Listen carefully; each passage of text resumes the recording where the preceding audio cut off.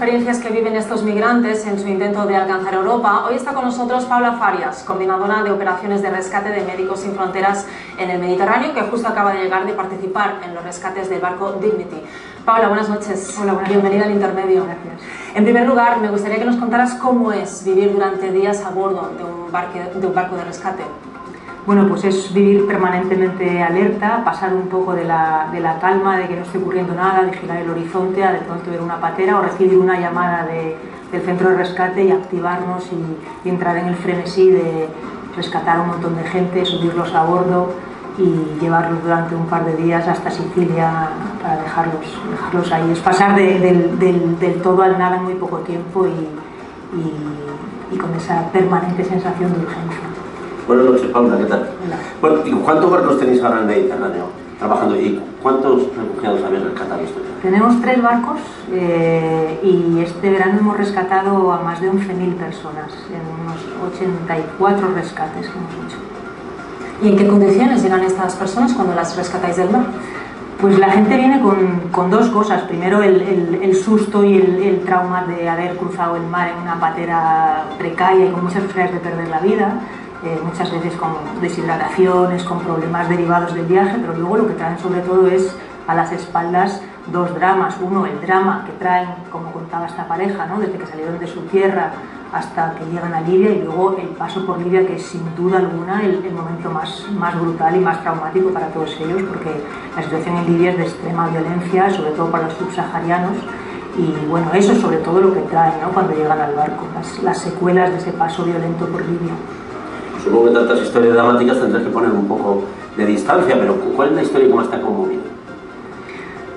Pues mira, yo, yo, me quedaría con muchas, pero yo creo que si hay, hay un denominador común en muchas de las historias es cada vez que viene un chaval porque le duele la barriga o la cabeza o cualquier cosa a, la consulta en el Dignity y cuando se quita la camiseta lo que ves son señales de, tortura, señales de, de violencia, ¿no? Eh, cómo vienen quejándose de algo y, y, descubres que tienen detrás tanta violencia encima. ¿no?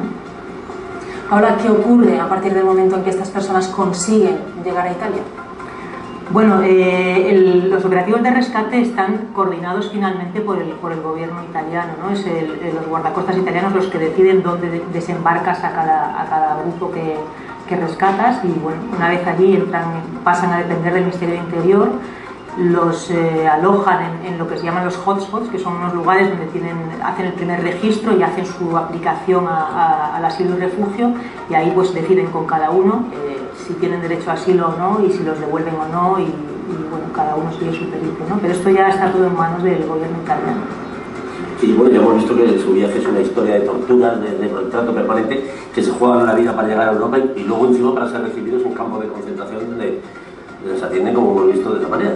Pero, ¿alguna vez os han transmitido que se han arrepentido de, realizar este viaje?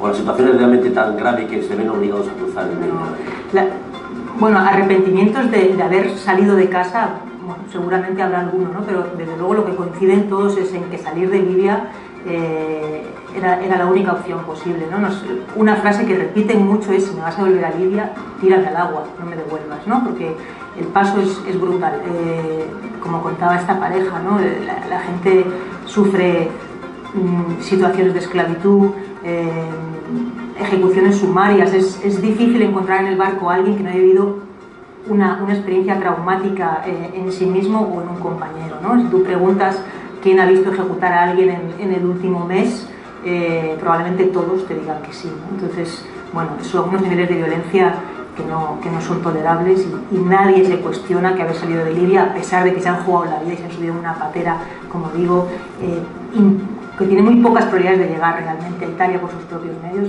nadie se cuestiona que ha sido una decisión acertada, ¿no? prefieren jugarse la vida que, que perderla en Libia. El pasado mes de junio, Médicos Sin Fronteras renunció a seguir recibiendo fondos públicos europeos en protesta por sus políticas migratorias. ¿Por qué tomasteis esta decisión? ¿Cuáles son vuestras críticas a la actuación de Europa ante esta crisis de refugiados? Bueno, porque eso nos parece que la, eh, la política europea lo único que está haciendo es aumentar el sufrimiento de toda esa gente y nosotros no queremos ser cómplices. Y, y, bueno, la gota que colmó el vaso fue el acuerdo que firmó, el acuerdo se firmó entre Europa y Turquía, ¿no? que es un acuerdo que, que de alguna manera compromete el concepto del asilo y refugio. ¿no? Es un precedente muy peligroso porque parece que a partir de ahí se puede negociar y es opcional el, ofrecer refugio. Entonces nosotros nos parece que no, que no es aceptable y no queremos ser parte de ello. Y bueno, nos podemos permitir, gracias a que es una organización Médicos Sin Fronteras que depende de sus, de sus socios, que tenemos fondos propios, pues podemos permitirnos el, renunciar a esos fondos europeos que nos parecía que nos hacían cómplices de, las políticas. Haber renunciado a los fondos europeos no, supone que dejemos de hacer cosas, pero las hacemos con, con el dinero de nuestros socios. Aprovechen y háganse socios, aprovechen. ¿Y cuál es vuestra relación? ¿Cómo, ¿En qué condiciones estáis trabajando aquí? Porque creo que, ¿cuál es la relación, por ejemplo, con las patrulleras italianas? Porque creo que os han tiroteado incluso. No, nos han tiroteado las patrulleras libias los guardacostas libios. Con las patrullas italianas no tenemos muy buena relación, de hecho trabajamos coordinados con los guardacostas italianos.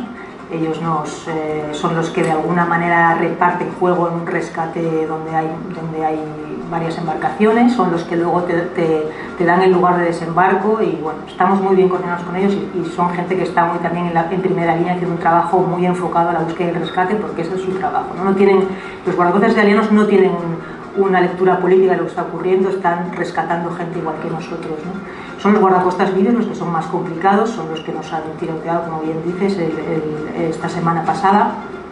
Y bueno, nos preocupa mucho porque de hecho eh, Europa está, eh, la Operación Sofía está ahora mismo entrenando y financiando a estos guardacostas, está dotándolos de mayores capacidades para eh, que, que, estén más activos y toda esa gente sea de vuelta a Libia. ¿no? Entonces, es una cosa que nos preocupa tremendamente como Europa, en lugar de centrarse en la búsqueda del rescate y la crisis humanitaria, lo que está haciendo es, una vez más, mirar para otro lado y pretender que sean otros los que se ocupen de sus fronteras, externalizar las fronteras, pasar el problema a países terceros y, en este caso, a un país como Libia, en el que el respeto a los derechos está más que cuestionado. Entonces es un tema que nos preocupa muchísimo, que ese enfoque que se ha hecho en, Turquía vaya a terminar haciéndose igualmente en Libia. Y esto de estar dotando a los guardacostas y, formándolos es, el primer paso de, esa forma de entender responsabilidades pasándoselas a, países terceros.